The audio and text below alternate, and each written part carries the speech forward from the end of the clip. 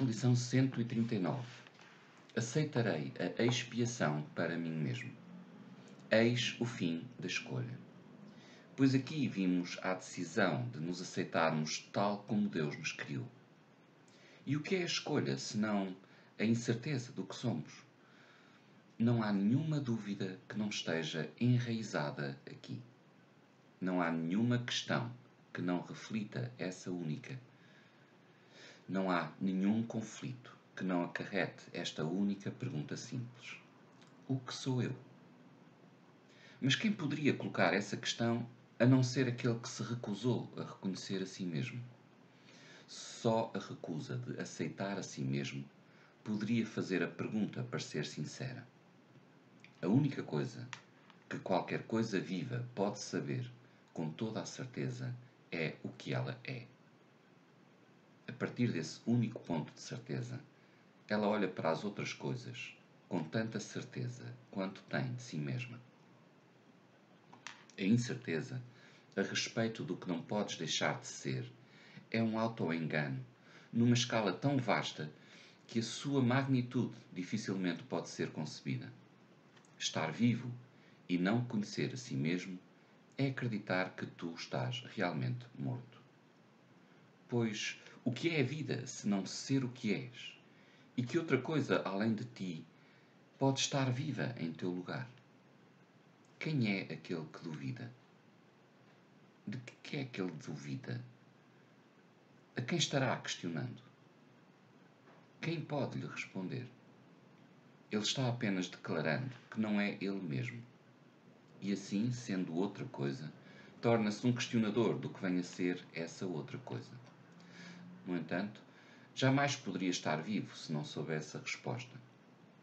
Se pergunta como se não soubesse, isso apenas mostra que ele não quer ser essa coisa que é. Ele aceitou porque está vivo.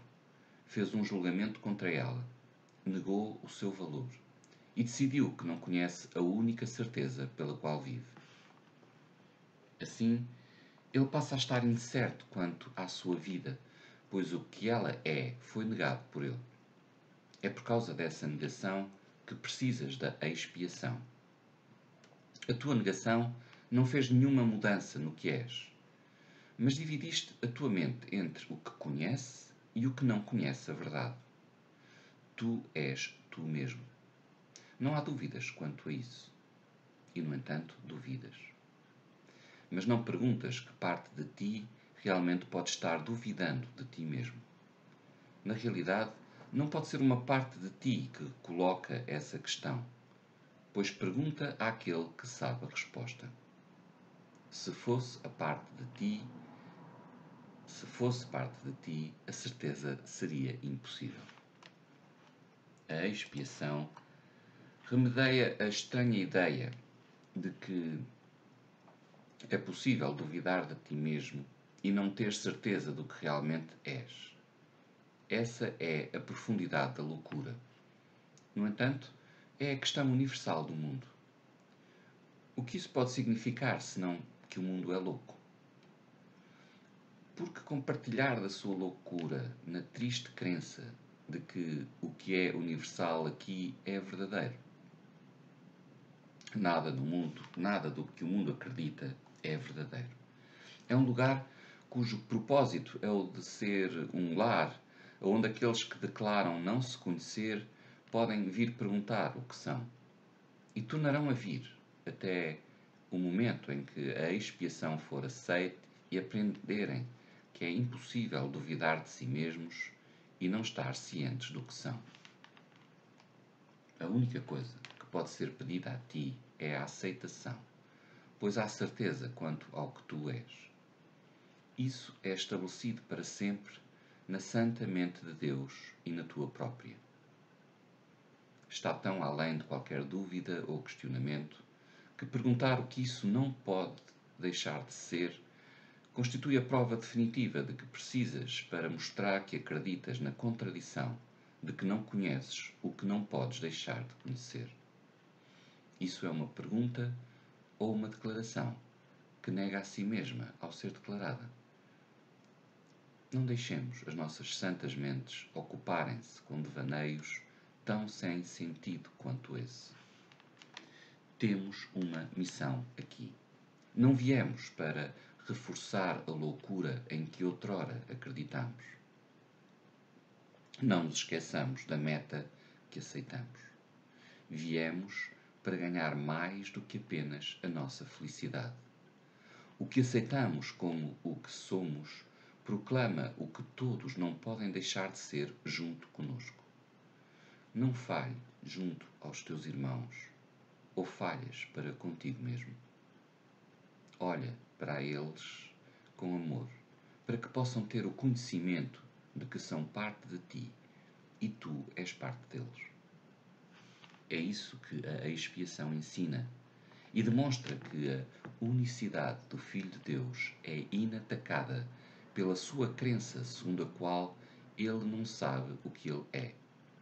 Hoje, aceita a expiação, não para mudar a realidade, mas apenas para aceitar a verdade sobre ti e seguir o teu caminho, alegrando-te no infinito amor de Deus.